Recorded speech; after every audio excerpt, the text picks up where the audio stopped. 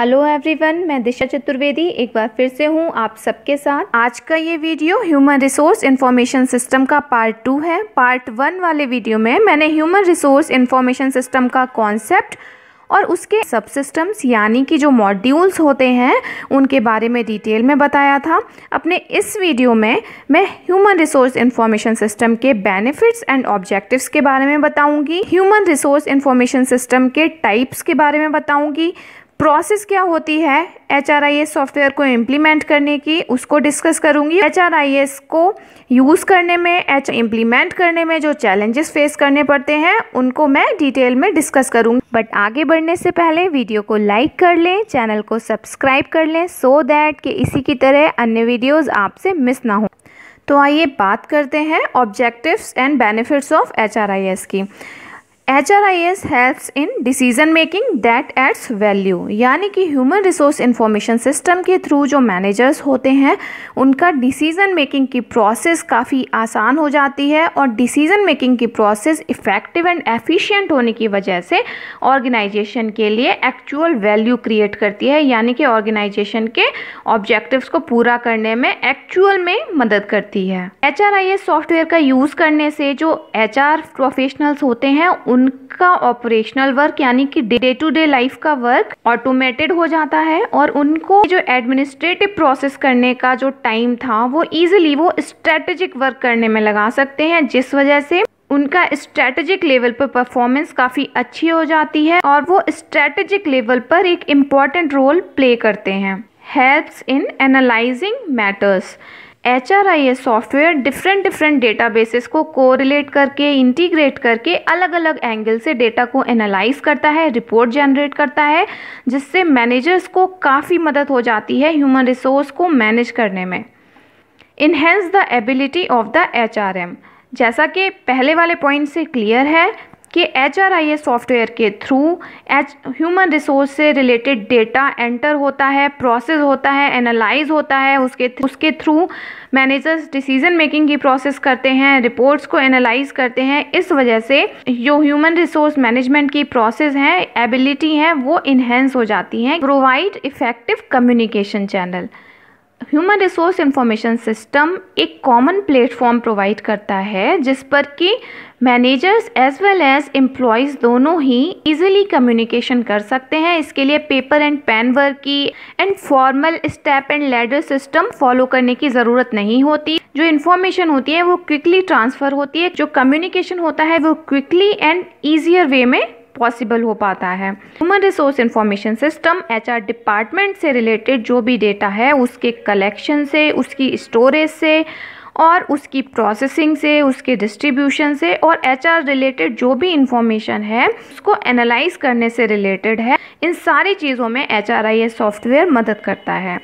Employee satisfaction and productivity overall जब H software का use करने से ह्यूमन रिसोर्स मैनेजर्स की ह्यूमन रिसोर्स प्रोफेशनल्स की परफॉर्मेंस बेटर होती है। मैनेजर्स की परफॉर्मेंस बेटर होने से वो अपने एम्प्लॉयज़ पर ज़्यादा अच्छे से ध्यान दे पाते हैं, उनको अच्छे से मैनेज कर पाते हैं, उनके ग्रीवेंसेस को, उनकी प्रॉब्लम्स को, उनकी वर्किंग कंडीशन को ज़्यादा अच्छे से समझ पाते हैं प्रॉब्लम्स का रिजोल्यूशन दे पाते हैं। तो जो एम्प्लॉयज़ हैं, उनको सेटिस्फेक्शन लेवल बढ़ जाता है और जिस वजह से उनकी प्रोडक्टिविटी भी इंक्रीज होती है। इस पॉइंट को इससे पहले भी क्लियर किया है कि जो ह्यूमन रिसोर्स इंफॉर्मेशन सिस्टम होता है, वो ह्यूमन रिसोर्स डिपार्टमेंट के सभी वर्क को, सभी एडमिनिस्ट्रेटिव एंड स्ट्रेटेजिक वर्क को परफॉर्म करता है। एडमिनिस्ट्रेटिव वर्क कम हो जाने से पेपर एंड पेन का वर्क कम हो जाने से मैनुअली वर्क कम हो जाने से जो एच आर मैनेजर्स होते हैं, वो स्ट्रैटेजिक ह्यूमन रिसोर्स फ़ंक्शन पर काफ़ी अच्छे से ध्यान दे पाते हैं। यानी कि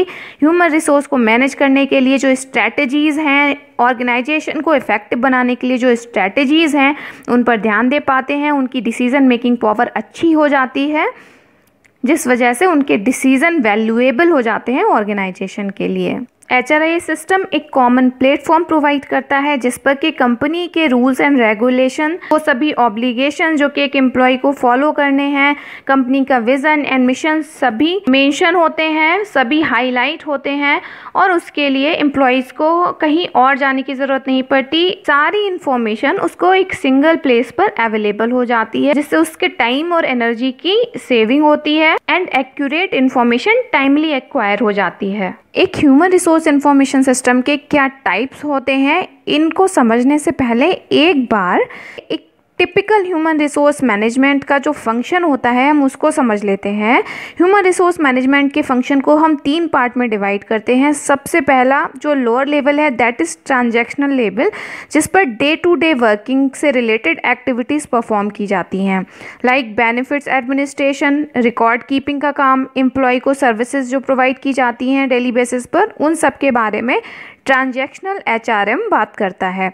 फिर है ट्रेडिशनल एचआरएम, जिसके अंतर्गत recruitment and selection, training, performance management, compensation and other functional areas of HRM perform किए जाते हैं। इस फ़ेज़ पर एक्चुअल में रिसोर्सेज का एलोकेशन होता है। लास्ट वन इज़ जो कि टॉप मोस्ट लेवल है दैट इज़ ट्रांसफॉर्मेशनल लेवल जिसमें कि ह्यूमन रिसोर्स मैनेजर उन एक्टिविटीज़ को परफॉर्म करते हैं जिनके थ्रू ऑर्गेनाइजेशन को या ह्यूमन रिसोर्स डिपार्टमेंट को ट्रांसफॉर्म किया जा सके बेटर बनाया जा सके।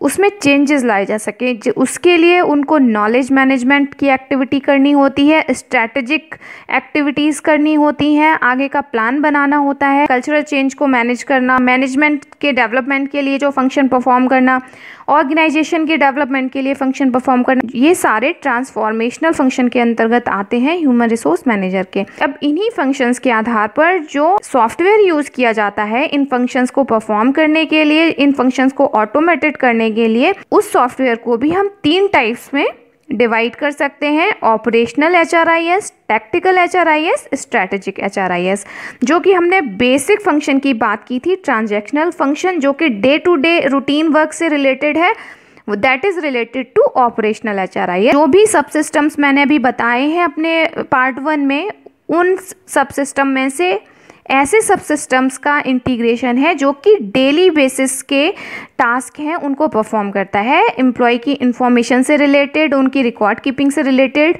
बेनिफिट्स के एडमिनिस्ट्रेशन एंड इवेल्युएशन के मैनेजमेंट से रिलेटेड और जो भी गवर्नमेंट रेगुलेशंस हैं जो कि डे टू डे बेसिस पर परफॉर्म किए जाने हैं ऑर्गेनाइजेशन में, वो सभी कुछ ऑपरेशनल एचआरआईएस के अंतर्गत आते हैं। जो एचआरआईएस सॉफ्टवेयर का दूसरा टाइप है टेक्टिकल एच उसमें ऐसे सब सिस्टम्स का इंटीग्रेशन होता है जो कि एलोकेशन ऑफ़ रिसोर्सेज से रिलेटेड होते हैं, यानी कि जो ह्यूमन रिसोर्स मैनेजमेंट के ट्रेडिशनल फ़ंक्शन से रिलेटेड होते हैं, जिसमें कि रिक्रूटमेंट एंड सिलेक्शन एम्प्लॉयज़ की ट्रेनिंग उनके परफॉर्मेंस का मैनेजमेंट उनके कंपनसेशन का मैनेजमेंट और अदर फंक्शनल एरिया का एडमिनिस्ट्रेशन होता है। इसके अंतर्गत जॉब एनालिसिस जॉब डिज़ाइन का एडमिनिस्ट्रेशन सभी आते हैं। The third one is strategic H जो कि ह्यूमन रिसोर्स मैनेजमेंट के टॉप लेवल के फ़ंक्शन यानी कि ट्रांसफॉर्मेशनल फ़ंक्शन से रिलेटेड है। स्ट्रैटेजिक एच आर आई है इसमें लॉन्ग टर्म प्लानिंग से रिलेटेड यानी स्ट्रैटेजीज से रिलेटेड जो भी सब सिस्टम्स होते हैं, उनका इंटीग्रेशन होता है इसमें। जैसे कि नॉलेज मैनेजमेंट से रिलेटेड जो भी सब सिस्टम होगा या स्ट्रैटेजिक प्लानिंग से रिलेटेड सब सिस्टम होगा कल्चरल चेंज से रिलेटेड मैनेजर्स के डेवलपमेंट से रिलेटेड जो भी सब सिस्टम होगा, वो सारे subsystems strategic H R I के अंतर्गत आते हैं। ऑर्गेनाइजेशन अपनी नीड के अकॉर्डिंग इनमें से कोई एक, दो या सभी टाइप्स के एचआरआईएस सिस्टम का यूज़ करते हैं। अब हमें बात करनी है इम्प्लीमेंटेशन ऑफ़ एचआरआईएस की, यानी कि ह्यूमन रिसोर्स इंफॉर्मेशन सिस्टम को इम्प्लीमेंट करने के लिए क्या प्रोसेस परफॉर्म की जाती है। सबसे पहले एचआरआईएस की नीड को डिटरमाइन किया जाता है कि ह्यूमन रिसोर्स इंफॉर्मेशन की क्या क्या नीड्स हैं। प्रॉपर प्लानिंग की जाती है कि एच सिस्टम को इम्प्लीमेंट करते वक्त कितना टाइम कितना बजट क्या ट्रेनिंग और क्या कॉस्ट कंपनी को बियर करनी होगी। इम्प्लीमेंटेशन प्रोसेस में नेक्स्ट फ़ेज़ है constitution of a project team यानी कि जो टीम एक्चुअल में रिस्पॉन्सिबल होगी टोटल एचआरआईएस सिस्टम को इम्प्लीमेंट करने में उसका कॉन्स्टिट्यूशन किया जाता है, जिसमें कि डिफरेंट आईटी सेक्टर के प्रोफेशनल्स को payroll and different HR function से रिलेटेड प्रोफेशनल्स को सेलेक्ट किया जाता है। नेक्स्ट फ़ेज़ है डिसाइडिंग द प्रोजेक्ट प्लान इस फ़ेज़ में टोटल प्रोजेक्ट प्लान तैयार होता है कि कैसे कैसे आगे की प्रोसेस परफॉर्म की जाएगी। कैसे एक्चुअल इम्प्लीमेंटेशन होगा एचआरआईएस सिस्टम का? नेक्स्ट फ़ेज़ है डेवलपिंग सिस्टम स्पेसिफिकेशन जिसमें एचआरआईएस को इम्प्लीमेंट करने के लिए जो सिस्टम रिक्वायरमेंट होगी, जिन hardware software and networking solution की ज़रूरत होगी, उन सारे सिस्टम के स्पेसिफिकेशन इस फ़ेज़ में प्रोवाइड किए जाते हैं प्रिपेयर किए जाते हैं। नेक्स्ट फ़ेज़ है training of user group implemented system को जो ग्रुप यूज़ करेगा, जो प्रोफेशनल्स यूज़ करेंगे, उनकी प्रॉपर ट्रेनिंग की जाती है सो so दैट कि इम्प्लीमेंटेशन के बाद वो HRIS का प्रॉपरली यूज़ कर सकें। नेक्स्ट फ़ेज़ है implementation and maintenance of H इस फ़ेज़ में कंपनी का जो हिस्टोरिकल डेटा होता है, वो सिस्टम में ट्रांसफ़र किया जाता है। इसके अलावा जो भी सिक्योरिटी मेजर्स लेने होते हैं, वो इसी फ़ेज़ में लिए जाते हैं। इम्प्लीमेंटेड सिस्टम को यूज़ करने के बाद में सबसे लास्ट स्टेप जो होता है that is evaluation of effectiveness जिसमें कि H R I S system की इफ़ेक्टिवनेस का इवेल्युएशन किया जाता है। इवेल्युएशन के बाद में उसमें कुछ इम्प्रूवमेंट की अगर ज़रूरत है तो उसके अकॉर्डिंग फिर से नीड को आइडेंटिफाई किया जाता है। और यदि सिस्टम परफेक्टली वर्क कर रहा है देन ये प्रोसेस यहीं पर कंप्लीट हो जाती है।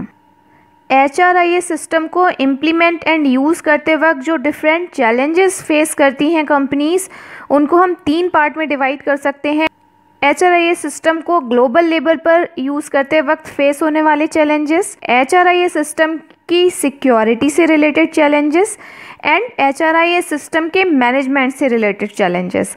सबसे पहले है global H R I S यानी कि जब globally H R I S system को इम्प्लीमेंट करने की बात की जाती है, उस समय पर ऑर्गेनाइजेशन कई तरीके की डिफ़िकल्टी फेस करते हैं लाइक इंटरनेशनल लेवल पर किस तरीके से इस सिस्टम को इंटीग्रेट किया जाए, क्योंकि प्रत्येक देश के अपने अलग अलग नियम कायदे कानून होते हैं एम्प्लॉयज़ को लेकर अलग अलग लेबर लॉज होते हैं, किस तरीके से उनको इंट्रीगेट किया जाए कल्चरल डिफरेंसेस होते हैं। एक ट्रांसनेशनल ऑर्गेनाइजेशन के लिए जो कि अलग अलग देशों में अपनी सब्सिडरीज ऑपरेट कर रहा है, एक ऐसे ग्लोबल एचआरआईएस सिस्टम को आइडेंटिफाई करना, उसको यूज़ कर पाना एक चैलेंज है। इंटरनेशनल ऑर्गेनाइजेशन को ग्लोबली एचआरआईएस सिस्टम का यूज़ करने के लिए प्रॉपर नेटवर्किंग टेक्नोलॉजी की ज़रूरत होती है। इसके साथ साथ ट्रेंड स्टाफ चाहिए होता है जो कि इस सिस्टम की प्रोग्रामिंग कर सके। इसके अलावा डिफरेंट डिफरेंट कंट्रीज़ में बिज़नेस से रिलेटेड जो भी लीगल कॉम्प्लियंसेस हैं, उनके बारे में नॉलेज होना काफ़ी ज़रूरी होता है ग्लोबल एचआरआईएस को इम्प्लीमेंट करने के लिए। Different culture different labour laws different employment की टर्म्स एंड कंडीशन ये सभी एक चैलेंज है ग्लोबली एचआरआईएस सिस्टम को यूज़ करते वक्त। दूसरा चैलेंज आता है एचआरआईएस की सिक्योरिटी को लेकर। एचआरआईएस सिस्टम में कंपनी का काफ़ी कॉन्फिडेंशियल डेटा यूज़ होता है। एचआर डिपार्टमेंट से रिलेटेड सभी कॉन्फिडेंशियल डेटा एचआरआईएस सिस्टम में होता है, जिसकी की सिक्योरिटी बहुत ज़रूरी है। ऐसा डेटा लीक हो जाने पर या डिस्ट्रॉय हो जाने पर कंपनी को कई तरीके की प्रॉब्लम फेस करनी पड़ सकती हैं। इस वजह से इस सिस्टम की सिक्योरिटी काफ़ी ज़रूरी होती है। ये एक चैलेंज होता है ऑर्गेनाइजेशंस के लिए कि वो किस तरीके से ह्यूमन रिसोर्स इंफॉर्मेशन सिस्टम की सिक्योरिटी को मैनेज करें। The third one is H R I S management human resource information system को इम्प्लीमेंट करने से पहले एक प्रोजेक्ट टीम का चुनाव होता है। प्रॉपर प्रॉपरली ट्रेंड स्टाफ का चुनाव करना प्रॉपरली सभी प्रोसेस को फॉलो करना, ये सब कुछ H R I S management के अंदर आता है, जिसको कि प्रॉपरली करना step by step procedures follow करना काफ़ी इंपॉर्टेंट है। H R I S management की प्रोसेस का अगर एक स्टेप भी इनएफिशिएंट या इनफेक्टिव होता है तो पूरे के पूरे H R I S system को इनफेक्टिव बना देता है। इसलिए एस को मैनेज करना, उसके लिए प्रॉपर प्रोजेक्ट टीम डेवलप करना प्रॉपरली ट्रेंड स्टाफ प्रोवाइड करना प्रॉपरली जो यूज़र ग्रुप है उसको ट्रेंड करना।